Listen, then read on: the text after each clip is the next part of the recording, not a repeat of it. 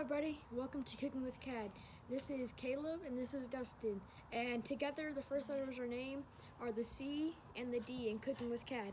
So today, in this video, well, in our last video, we were talking about how our setup in the backyard, and we said in we said in our next video we will be showing you how to make ABTs, which are atomic buffalo turds.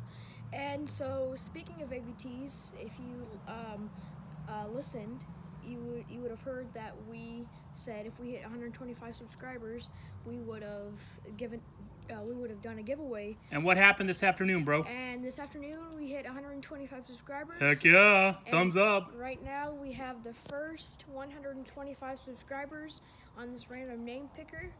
And right now we are going to see who's going to win the ABTs. Drum roll. Carol, How cool, Carol Longacre. yes, so uh, congratulations for winning uh, the giveaway. And What did she win? you won um, a dozen ABTs. Yeah, we might give her some more, especially since she's local. And uh, comment down below if you're still here, and subscribe um, if you haven't.